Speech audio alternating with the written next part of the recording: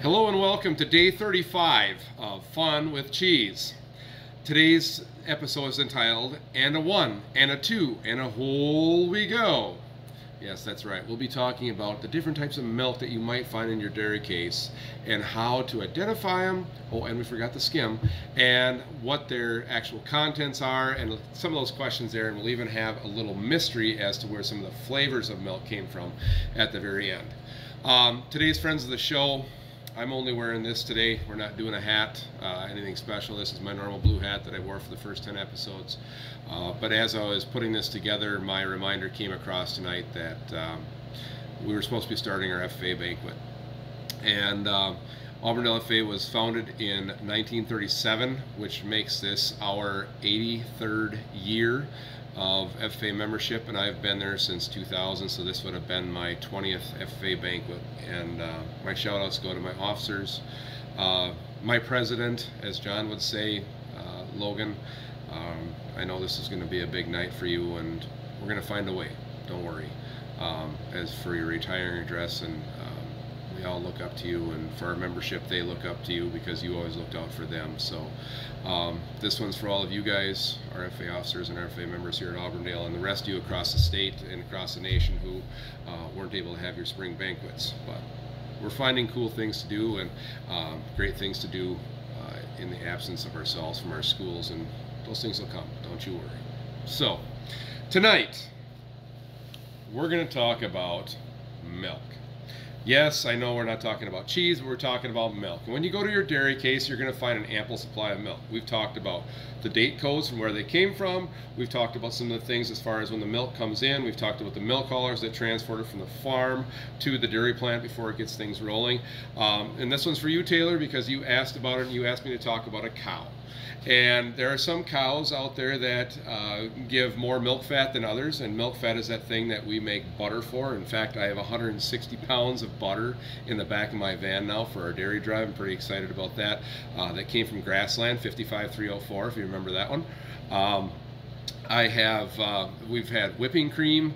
Uh, tonight we would have been making or eating lots and lots of cheesecake and drinking lots and lots of chocolate milk. Uh, but that butterfat is something that sits milks away are apart from each other. And so the first one, our first guest tonight, is um, whole milk. Okay, these are the new Weber's bags that I was gifted. I didn't have to buy any milk tonight beyond my normal milk that I have, but they gifted me the bags, and uh, this is their new design. But this helps out in their bagging process. They don't bottle gallons of milk there, they bag them in the half gallons. So I want you to pay attention to the colors here. The red, the red corresponds to whole milk. 3.5% milk fat. If we had a Jersey, a Jersey would be somewhere in the neighborhood of 4, 4.5, almost 5% butter fat. And so what they have to do with that is we standardize the milk. At whole, we're at 3.5% fat. So they're going to pull that milk fat off. So they might be pulling a half, one and a half percent of that fat off, and they're going to make that into that whipping cream or pr provide those for other things for making butter and things like that. 3.5% butter fat. Uh, it's going to have eight grams of fat per one cup serving, and it's also going to have eight grams of protein per one cup serving. Now, it's not going to matter what milk we have. There's always going to be eight grams of protein per one cup serving of milk, whether we're going down to skim or we're at whole. The fat's going to change a little bit, but that's a good fat though. It's a good saturated fat, and you think of yourself as a growing individual. Um, your milk might change over time as far as what you are uh, drinking. Uh, maybe you're getting older and you're not growing anymore, but for your kids, this is the best source of fat that they can potentially get, and we mix it into so many different things. 3.5% fat. Um, and we call it whole. Always going to have a red cap when we're looking in the dairy case. Now, there's a couple things I wanted to point out. That one, that this is farmer certified from our cows that were not treated with BST. Now, BST was a hormone that uh, was synthetically made that naturally occurs within the cow, but if you look at a cow, it was a management tool. And so if you look at a cow's milk production, it would go up and down and up and down and up and down. You moms out there, whoever um, were able to nurse your kids, you know how that production went up and down and you had a lot of problems up here pardon the pun, But for our dairy cows, it's the same way. And so what BST did was help level off that production so it wasn't such an up down and they were able then to as they got farther in their lactation they would drift off into their production. But this took a lot of that out of there. Uh, nothing wrong with it. There was nothing that showed that our BST was different than the normal BST but they just chose not to put it in there. And so there is no BST no added hormone in your milk. Please don't think that nobody's going to try and hurt you or harm you okay? It's all good. Um, our next milk friend of the show is coming in, and his name is 2%. So 2% is always going to be blue, okay? Some sort of blue cap. And that blue cap, depending on manufacturer, you'll see it might be light blue, it might be a dark blue, whatever, but it's going to be blue. And it's going to have 2% fat. So one and a half times, or one and a half percent less fat than the other one. There's eight grams of protein and five grams of fat in that 2% serving, one cup serving of milk one else in here. This is the label that you see, probably made in Wisconsin.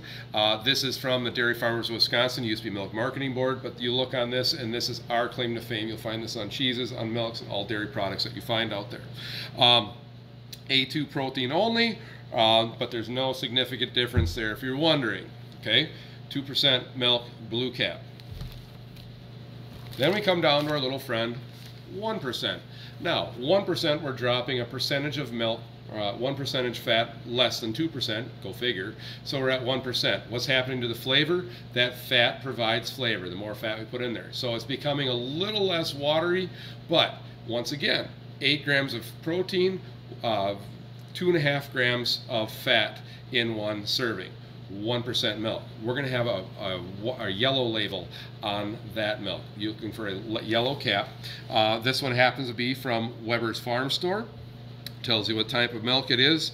Uh, there are other labeling here. They come in a one gallon container here and produce under the highest possible standards. That's a standard um, decree that they've put on there, what they want the farmer to know.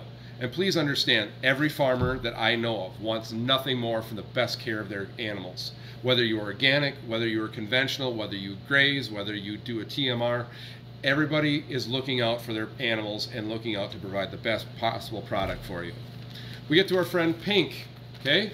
Pink is going to be skim milk, no fat, okay? There is no fat in it, and there are still 8 grams of protein in there, good for building strong muscles and bones. This milk has been fortified with vitamins A and D, which is, also helps with calcium in bone formation and muscle structure. So for growing bodies, it's a really good thing. Skim milk, pink, no fat. Those are the four. Now, Ms. Hardinger, your question was, geez, do you think you could find out where the origins of flavored milk came from? No, Taylor, chocolate milk does not come from brown cows. Chocolate milk comes from, you gotta be kidding me, man. Yes, chocolate milk gets its origins from Jamaica, man. Chocolate milk, Weber's bag, okay? This is what the inside of the bag looks like. Different than your container, I know you're saying. Different than Kwik Trip. They um, package right here in Marshfield, Wisconsin. It is a clear bag, different than the Kwik Trip bags because they travel from La Crosse to wherever they have to go. Bags are a little bit thicker, and need to be a little more durable in the gas stations. But this is a 2% chocolate that was originally came from Jamaica because they would take their cows and then they'd put cocoa beans in there and shake it up. And guess what? When the explorers came from England and places farther to the east, they saw it, they tried it and said, you know what? This is a good flavor. I'm taking it back with me. So they took it back with them and called it their own. So they said that they invented chocolate milk when originally, if you think about it, cocoa beans, Central America, Jamaica, in the tropics there, that's where the stuff grows and that's where they got it from. Last thing I'm going to show you here. Don't be intimidated by these bags. You don't, and I see a lot of mistakes here. People come along and they'll cut way back here, okay? All you have to do is take the tip, snip off just that much is all you have to have, and you have a pourable spout, half gallon at a time, and it's one of the most delicious things you can do. My favorite is the Weber's Cafe Mocha where you dump this into coffee and you have your own cafe mocha. It's better than Starbucks and it's local. And I get it from my coffee maker. So there you have it. The four types of milk, their labels, their caps, what do they stand for? Origins of chocolate milk and where it came from, and how they cut the tip off these crazy bags if you've never had them before. It's an awesome way. Plus, they smush down very small and take up very little space in the landfills. Remember, I don't have a cheese, but this is where milk starts out with, and it wants to become cheese and become immortal. So, you guys stay classy. We'll see you for day 36.